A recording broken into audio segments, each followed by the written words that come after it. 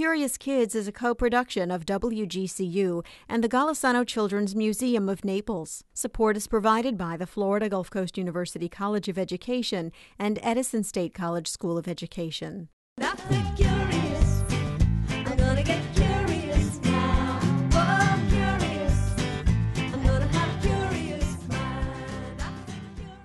Hi, I'm Kyra. I'm Cody. I'm Riley. And I'm Callie. We're the Curious Kids. Welcome to our treehouse. Where does your imagination take you?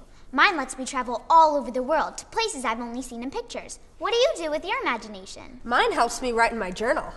My imagination really helps me get into my character when I'm acting and singing. Mine helps me come up with songs. We were curious to learn about how different artists use their imaginations to help inspire their art. So we asked a few of them. Starting off with a sand sculpting festival on Fort Myers Beach, which is one of the longest running sand sculpting competitions in the world. It's hard to believe these sculptures are made out of sand. The detail is amazing. The artists have to work really slowly so the sculptures don't collapse. How do they do it? Do you build your structures from top to bottom or bottom to top? Uh, top to bottom, because if we take it from the uh, bottom to top, as you can see when I'm carving this, if we were doing it from the bottom up, you see what happens to the sand, it would just cover what, what uh, you've already carved. What kind of tools do you use? Um, a lot of cement trowels, like this one here that I'm cleaning off. Uh, kitchen uh, kitchen tools. These are homemade by Amazing Walter around the corner, and then of course paintbrushes. So cool. What do you use the paintbrushes for? Just to just to brush when when I'm finished, just to brush it, just to clean it. Mr. Brett lives in Mexico and he flew in just for this festival. Like Fort Myers Beach is a wonderful beach. The people are wonderful. They take care of us really, really well. And the sand, the sand is really nice. It's it's fine, and it and packs quite nicely for beach sand. Since it was the holiday season, there were some festive sculptures, like this elf putting a star on top of a Christmas tree. Some sculptures, like this one, were really big. What are you making here? We're making the Snow Queen. Oh, is it from Narnia? Big queen and then the big polar bear pulling their chariot. That's really How long have you been working on this? Uh, we've been working about 14 hours now and got about seven to go. How long does it stay up? Uh, they'll they'll keep it up through the weekend and then at the end of the weekend they'll tear it down. Do you travel around all over doing this or do you just stay here? No, I, it's full-time work. I travel all over the world, and as a matter of fact, my next job is in Australia. Whoa! How many do you make a year? Uh, I'll probably work on about 20. That's the coolest job ever. Yeah, it, uh, it's a lot of fun. There were all kinds of different sculptures. We were curious what was the inspiration behind some of them. Like this one. What are you making here? It's a soldier. On the other side, a soldier is looking in a mirror, and the reflection in the mirror is a, an eagle's face. On the back of the soldier it says the word courage down his spine for his backbone. What inspired you to do this? Wanted, uh, well, we just had Veterans Day, so I wanted to pay a little tribute to the veterans. Give my thanks. From soldiers to dragons, Grinches to castles, these sculptors sure have some wild ideas for creating art out of sand. Even though they don't last forever, we were really psyched to see them, if only for a day.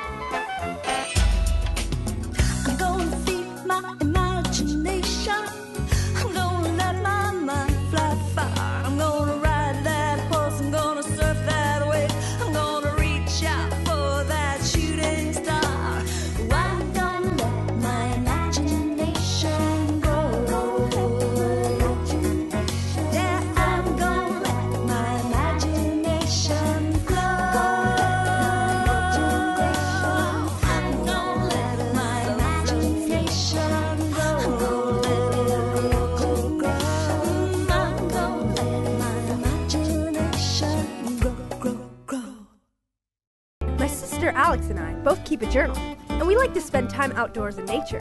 So we were really excited to meet artist and journal writer Diana Gessler when she visited Southwest Florida. We hope she might be able to give us some tips on how we can illustrate some of the things we see around us. How do you think that drawing gives you a greater sense of appreciation for nature? Oh man, that's an easy question. because look at this. I'm drawing this hibiscus, and I really, really have to look very closely at this in order to be able to draw. And that's the way you do with all nature. You want to see me do a bee? I'll show you how to do a bee. Now, I can draw the bee right now without having one here because I have looked at one very, very closely in the past. Just a few strokes here and there. She makes it look so easy. And then he goes bzzz. And my whole thing about journaling is simplify. Keep it very, very simple because that makes it more fun because it's not a painting. It's just a journal. It's just a memory. I find it hard to get started drawing. So, do you have any tips for me and other kids?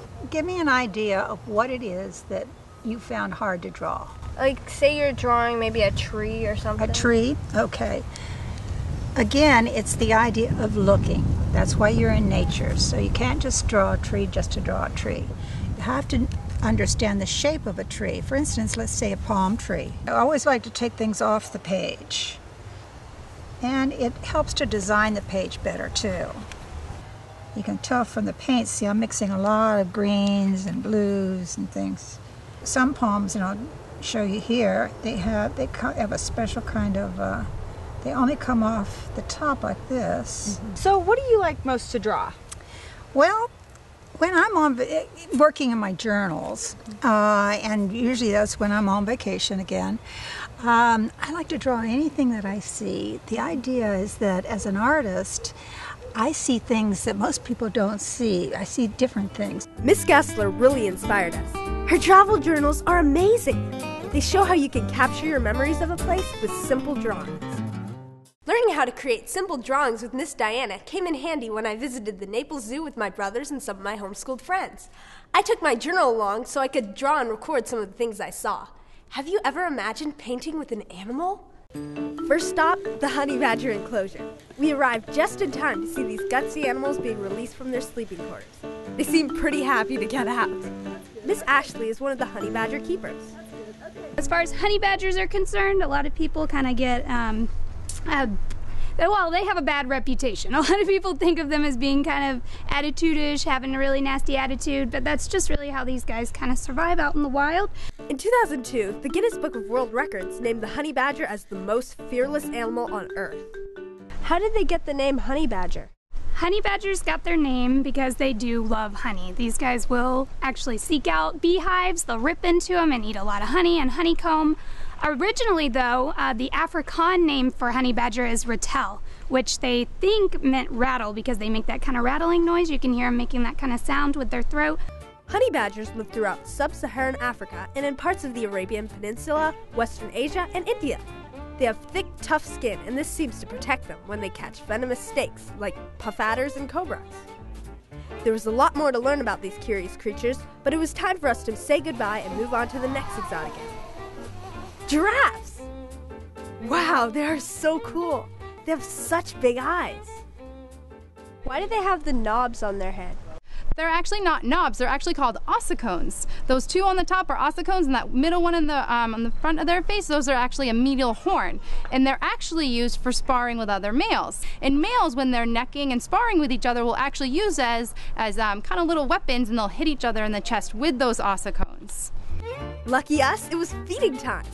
In the wild, giraffes like to eat leaves from the acacia tree, but here at the zoo, lettuce leaves are on the menu.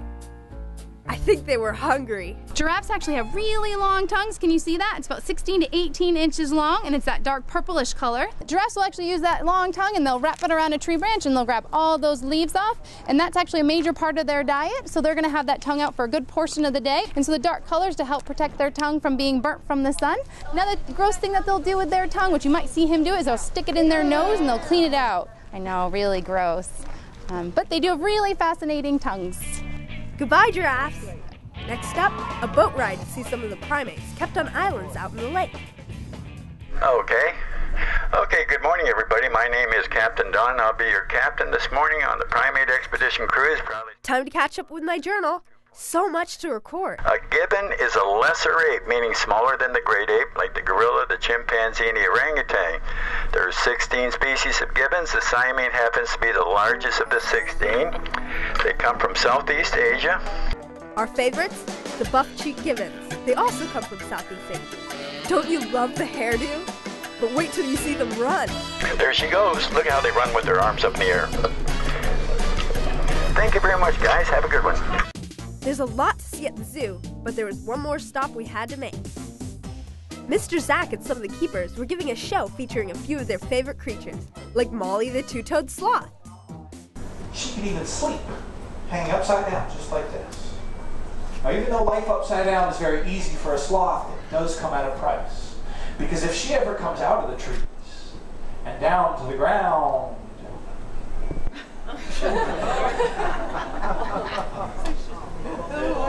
that's it. Oh, I think she was happy to get her reward. This snake gave Mr. Zack a fright. Not sure I wanted to get too close to it either. I loved this barn owl.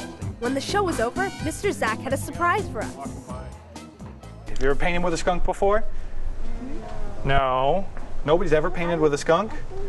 All right, well, this is going to be fun then. All right, so we got paint, we got paper. What are we missing? The skunk! All right. Meet Benjamin, artist skunk, ready to go. Giving him his favorite food was a major incentive. Yep, beetle grubs. Yum. So, what do you guys think of Benjamin's painting? I think it should go in an art museum. Not bad for a skunk, right? Yeah. Who would have imagined? You're welcome. Thanks for coming, guys. Bye. Meet Isabella. She's an artist and an inventor. She's come to show us a really cool and creative invention. Welcome to the treehouse, Isabella. Hi, it's great to be here. Can you show us your super imaginative way of using erasers and tell us what inspired you? Sure, well, I love accessories. Me too. But I'm also practical, so I wanted to create something that I could wear that would also be useful. So, what came first? The barrettes came first, but the bracelets, called eraselets, seem to be more popular. Weren't you selected for the Kids Inventor Day at Orlando Science Center? Yes, I was actually in the Final Four and got to be on a Discovery Channel TV show. How cool is that? Can people buy them in stores? No, not yet, but they are available online. Well, thanks for stopping by. Do you have any invention you'd like to share with us curious kids? When I'm playing a part that's unfamiliar to me, I like to imagine how I can best portray the characteristics and personality of that role. I get my inspiration from the older kids that I've worked with in theater. I haven't always been able to take acting, singing, and dancing lessons, and the older kids have really inspired me. Hopefully, I can do the same for younger kids when I'm older. Fort Myers artist Brad Hermann uses his imagination to create all kinds of art. Malcolm and I were curious to know where his inspiration comes from, so we stopped by to see him. Hi, Mr. Brad. Hi. What's this? It's called The Chain. Amazing. It's a piece of art as well as a playable instrument with tuning pins. You can really play this? Absolutely. They're using mandolin strings. Uh, I've got them set up with five. Um, I was tuning it uh, right before I saw you guys, but and I'm also using fishing string as well. So, what's it made of? It's made of a queen palm frond, uh, which is one of three that I would use to make pieces. Uh, the other two are a coconut palm and a royal palm. Palm fronds? Who would have thought? Mr. Brad collects fallen fronds wherever he sees them. First, he has to scrape off all the rough material and then sand them down. Then, after it's been sanded, then you're priming it, and it's sprayed with a primer or brushed on, and then I start to lay out the what it, it. yeah, what it's gonna be. An elephant? Good job, yeah. Here's the amazing part. From these bare fronds, ta da! He makes incredible masks. Uh, this is not any paint, so I've used all natural colors of the frond. These flowers? That's actually rose petals, yeah, good call. Um, this is cork, and what I do is I press it and I inlaid it into the mask. Do you always use recycled or natural materials? I do. I love using things that uh, are going to be discarded. I don't have to purchase my materials. I can just use something that was going to be thrown away, make it something beautiful. This giraffe was one of my favorites. What is the mane? The main are uh, old brushes that I used, and as uh, the recycle artist I am, I couldn't throw them away. Mr. Brad doesn't only make art from palm fronds, he creates mixed media pieces too, like this one called La Musica. He even creates action art. Look at this piece he created live at Art Walk in downtown Fort Myers. It won Best of Show in a competition called It's Raining Art. it's raining paint. Where does your inspiration come from? Uh, it comes from many different places, uh, from where I've traveled uh, to things I see, maybe a person wearing a shirt or a pendant that a woman's wearing, or earrings, or just something that I see out in nature. I love the way Mr. Brad mixes natural stuff into his artwork. What a great way to reuse things. We got to paint our very own palm fronds that day, and I'll always treasure mine. It's not every day you get to make art with a real artist. I don't think I'll ever look at a palm frond the same way again. I'll see elephants and giraffes instead. Yay! We made art! I usually write songs about something that I and the listener can relate to. Like, for instance, the song Love Me Not is about someone who's picking petals off of flowers and wants to know if their crush likes them or not. So, once you take that idea, I start to add lyrics to it with my producer. So, as you can see, creativity comes from my imagination. A song can be about anything you want, it's all up to you. She loves me.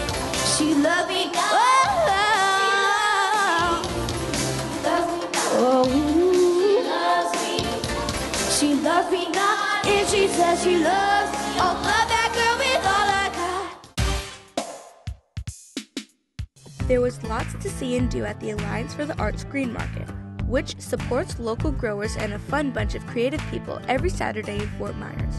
Local artists were selling all kinds of crafts, some made from recycled materials, like these purses and bags made from old juice boxes. Look at this, guys! It's a flower made out of forks, spoon, and a salt cup. That is so cool. There was more art made from old cutlery and some very cool jewelry. Rain barrels. It's a totem pole, right? Yeah. You just stick a bunch on top and you get a mountain. Okay, so what is a rain barrel? A rain barrel collects rainwater so that your plants can stay happy and healthy all throughout the year instead of just watering with city water or well water. Plenty of inspiration and imagination here.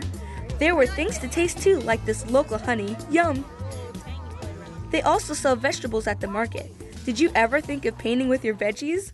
Would you rather eat your vegetables or paint with them? Paint. Excellent, because that's what we're doing today. We're going to paint with our vegetables. Sometimes when we use our celery, we don't cook with the bottom of the celery, do we? But if we cut it, what does that look like? It kind of looks like a rose. Kind of looks like a rose. So you can take some paint or some ink or some food coloring and you can stamp it on your paper and make a flower. Soon you're painting up a storm with celery and potatoes and peppers. Next, we met an artist who was creating some of his work at the market. Hi, Mr. Jason. What are you doing? I'm painting shoes. Oh, that's cool. So how do you do that? I use these paint markers, which is a an acrylic paint. Do you do this art too? Yes, I do. What kind of art is it? It's just uh, designs that are in my head that I just kind of make up as I go. Mr. Jason's imagination helps him create some very cool art. Last, we had a chance to participate in an ancient form of communication drumming. From funky shoes to rain jewelry to honey, pastries, and a lot more. This green market sure had plenty of ideas to spark our imaginations. One of my hobbies is making stop motion animation videos. Sometimes when I see my toys or even a stick on the ground, I imagine them doing unimaginable things through my videos. I can make them do whatever I dream up, from a rampaging dinosaur to a matchbox car race or a construction site. It's fun. Inviting kids to paint murals. How fun! That's one of the creative ways the Golisano Children's Museum of Naples engages the community and decorates its walls. Miss Beth invited some of us curious kids to help paint a canvas around the word dream. When I was looking for inspiration for what I wanted the big mural to be, to say dream, I found this image and I thought, oh, that looks so dreamy. Because it's kind of a little bit pastel here and there. Just, that looks dreamy to me. So I thought we could do something kind of like this. We got our paint and we're ready to go. Miss Beth outlined the letters of the word so we can paint around them.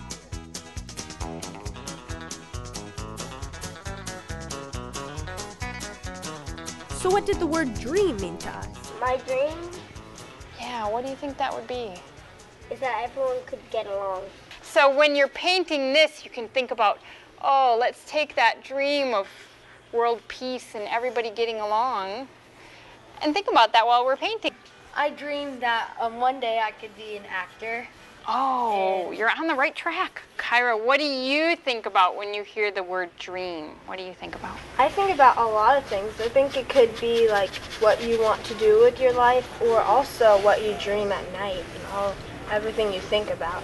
Yeah, there's lots of different ways that dream can be interpreted. And there are lots of different ways to interpret art too. Our canvas looks pretty cool hanging in the museum. I'm sure it will inspire many different thoughts and imaginings in those who see it. That's the beauty of art. The Republic of India is in South Asia. It is the second most populous country in the world, with over a billion people. Historically, India was a center for important trade routes, making it a treasure trove for ancient artifacts. The Golisano Children's Museum's curator, Miss Carey, invited Aaliyah, Aisha, and Alex to see some of the objects from India that were donated to the museum by world traveler Dr. Ernestine O'Connell. Here we are with our artifacts from India, but the first thing we have to do is we have to put on gloves before we can touch artifacts. The reason we wear gloves is because you have dirt and oils and things on your hands that can transfer to artifacts. This is a circlet that's worn on women's heads, just like that. It's very decorative, and they use it when they're carrying large pots of water on their head. They have this nice rigid ring underneath to help keep it vertical. This is a kanjira. It's actually a type of tambourine. It has a monitor lizard skin on it. It's carved wood, and these are most popular in uh, South India. This is a, an example of a homemade altar that would be in the home. These would be uh, placed in the home to say prayers and make offerings to all the deities. You can see it's ha- elaborately hand painted with different stories and depictions of the deities. Where do they get the artifacts from? Most of our artifacts came from one donor, a woman named Dr. Ernestine O'Connell. She traveled the world for about 45 years, and she actually left us um, about 2,000 pieces from 145 different countries. Cool. Imagine visiting 145 different countries. That would definitely spark my imagination.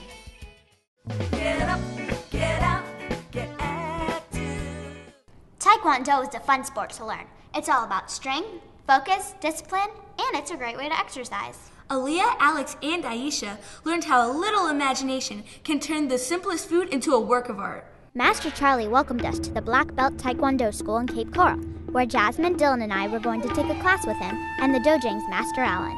Taekwondo is a Korean martial art. It's over 2,000 years old. It was developed back in the military for them to learn self defense. It's very traditional. Apart from the physical part of punching, blocking, kicking, the mental disciplines are, if, if not the same, more important than the physical training uh, to develop courtesy, respect, um, inside of the school and outside of the schools. As a mark of respect to South Korea and all nations, class begins with a bow to the flags and a bow to the teacher. Then it was time for some warm ups. The kids are counting in Korean. We practice a bunch of the exercises with Master Allen. From punches to kicks, most of the moves are designed to help you defend yourself if attacked. Combination of both punches. Set. Net. Here, turn. But what if someone grabbed you before you had time to punch or kick them? If somebody's grabbing you inappropriately, you don't want them touching you, grabbing you, I'm going to show you how to break free and get away. Pull straight back, pull straight back. See, she'll never break free, never. Now I want you to come in here, just bend, use your bicep, and pull straight up. Pull straight up. Boop. Pretty easy, right? When would it be appropriate to use this technique? If somebody is grabbing you and you don't want them to grab you, you can use this technique. Remember the three rules of self defense avoid, negotiate, and contact. We tried out a few more kicking techniques. Then it was time for Jasmine and I to gear up for a sparring session. The object of, of uh, sparring is to score more points than your opponent, obviously. The way you do that is you kick in the scoring areas, the Hogu area, chest protector. Off we go!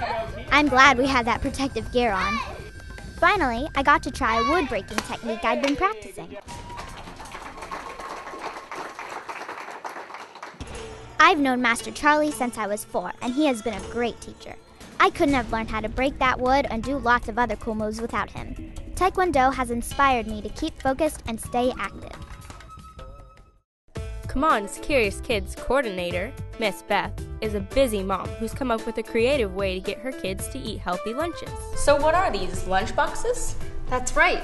These are the lunch boxes that I pack for my family every morning. So it's like a like a platter of food?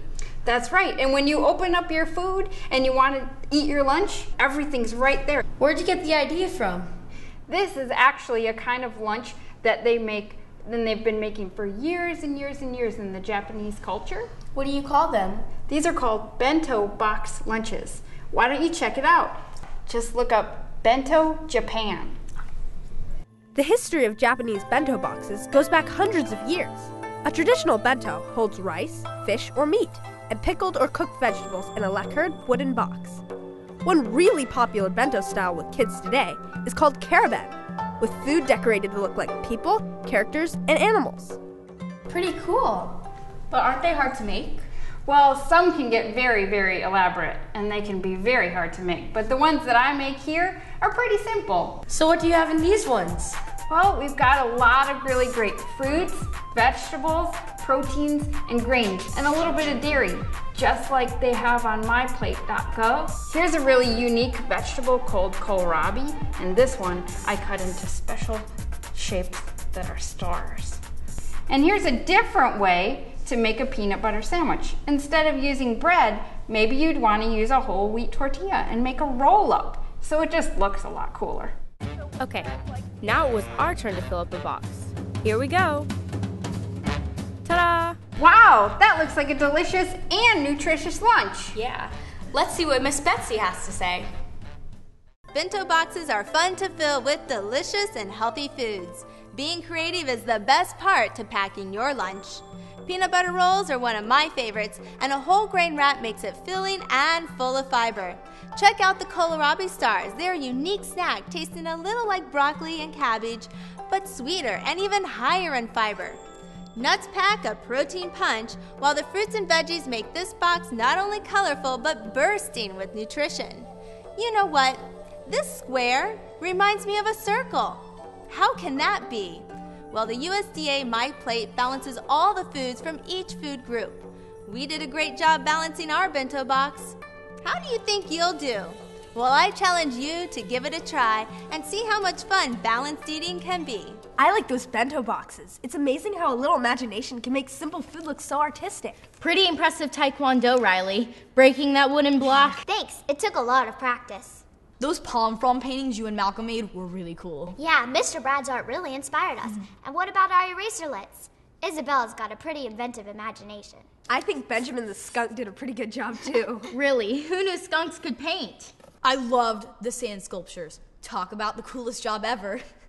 I want to go back there next November and see some more artists making art with sand. It's amazing what a little imagination can do to inspire us. So true. See you next time. Have a curious mind. By asking how and why. How and Watch why? the birds, how do they fly? Look around, you feel the breeze. How come the air gets cleaned by trees?